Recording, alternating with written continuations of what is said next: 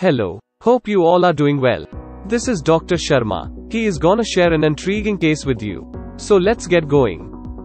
A 36 year old female presented to us with complaints of diminution of vision in both the eyes for past one day.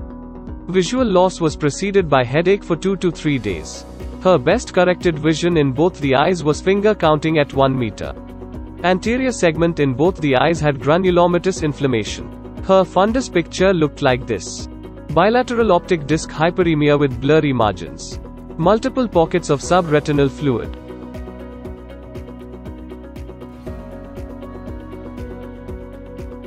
And ILM folds over the posterior pole.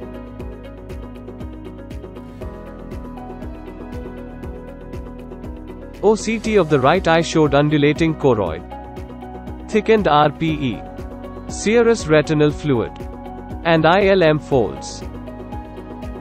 OCT of the left eye had similar features along with subretinal septae and hyperreflective dots within the SRF because of fibrin.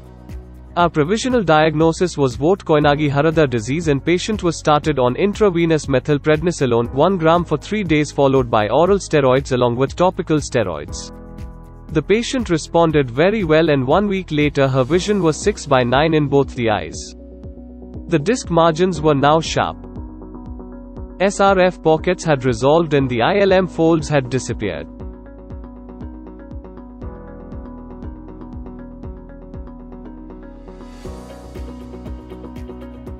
OCT showed restoration of normal retinal architecture in the right eye while subtle irregularities in the ellipsoid zone were noted in the left eye. The patient was advised gradual tapering of oral prednisolone and she was started on azathioprine 50 mg TDS.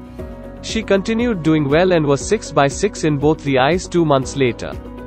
The patient was lost to follow up for the next 6 months. She reported 6 months later with diminution of vision in the left eye for past 15 days.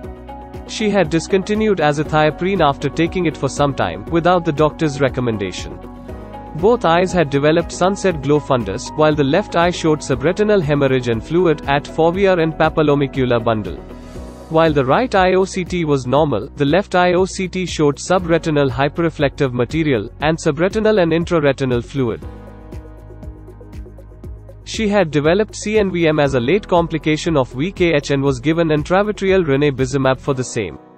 She was followed up one month after the injection and showed resolving CNVM.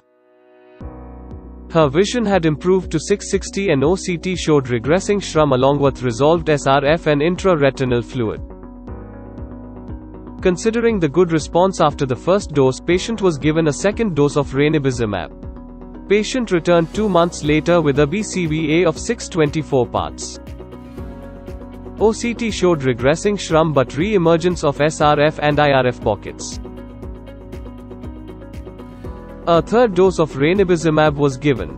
A month later after the third dose patient is maintaining 6-6 in the right eye and 624 parts in the left eye. Left eye OCT showed resolved SRF and IRF. Patient did not want to get injected further for the time being. We are maintaining her on tapering dose of azathioprine, and, we have advised her to not to miss the follow-up visits. CNVM in VKH disease has rare incidence. We would love to know how you would have liked to manage this case. Thank you for your kind attention. Goodbye.